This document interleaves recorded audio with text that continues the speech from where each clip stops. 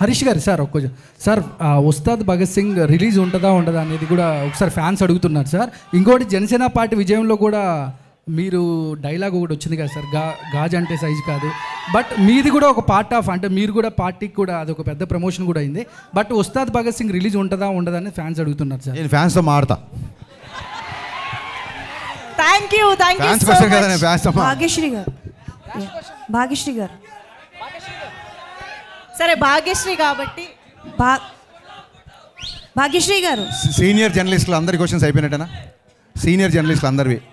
అడగండి అడగండి అడగండి అడగండి ఫాస్ట్ అడగండి. భాగ్యశ్రీ గారు. ఎస్ మ్యామ్ ఒక్క నిమిషం ప్లీజ్ ప్లీజ్ క్వశ్చన్ తీసుకుందాం.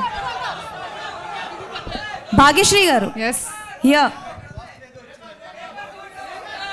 అడిగేసి అంజలి. యా. సో భాగ్యశ్రీ గారు.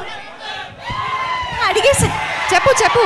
So I'm Anjali from Telugu TFPC one question yes please yeah so స్పెషల్గా తెలుగు ఫిలిం ఇండస్ట్రీ మీకు అంటే లైక్ మీకు నచ్చిన విషయం ఏంటి? What is the special thing you like Telugu like the most about Telugu film industry the audience the fans I love them I love you all ఇకపోతే నా నా పర్సనల్ రిక్వెస్ట్ పాత్రికేయ మిత్రులందరికీ నా personal request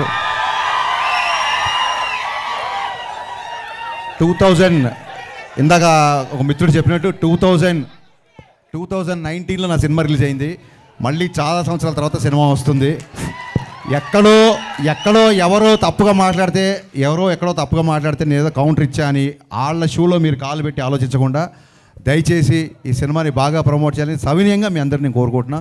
thank you so much